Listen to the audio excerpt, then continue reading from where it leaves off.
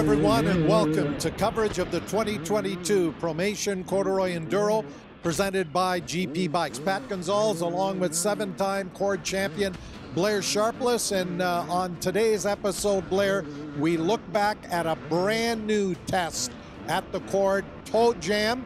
I think your sister probably has something to do with that, along with her husband, uh, Jamie. But uh, how difficult was it uh, cutting out this brand new, uh, and it's a long one, this brand new test number two?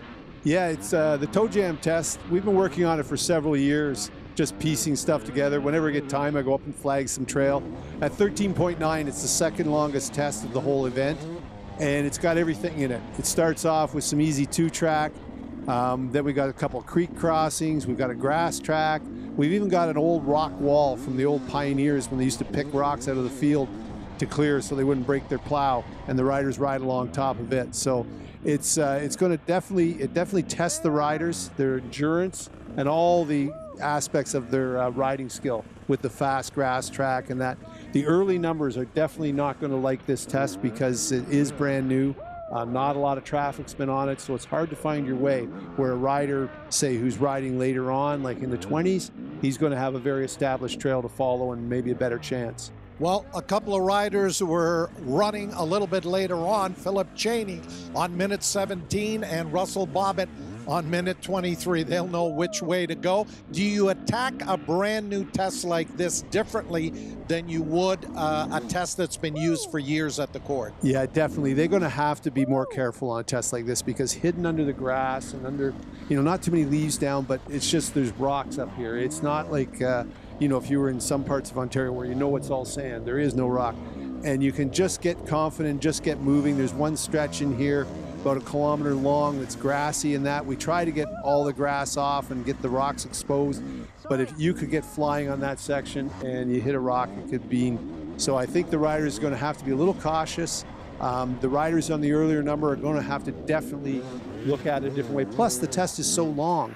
And if you look at what the average speed was, it was under 30 kilometers an hour. So that means the riders are working all the time. There's no sitting down and just pushing the throttle.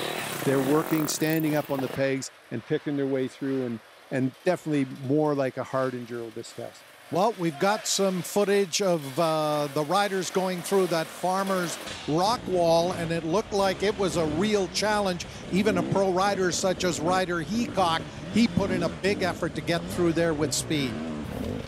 Yeah, it looks good. Ryder was up on the pegs in his uh, there, where a lot of the riders are sitting down. But the big problem with the rock wall, if you had someone have a trouble in front of you, there's just no way around them.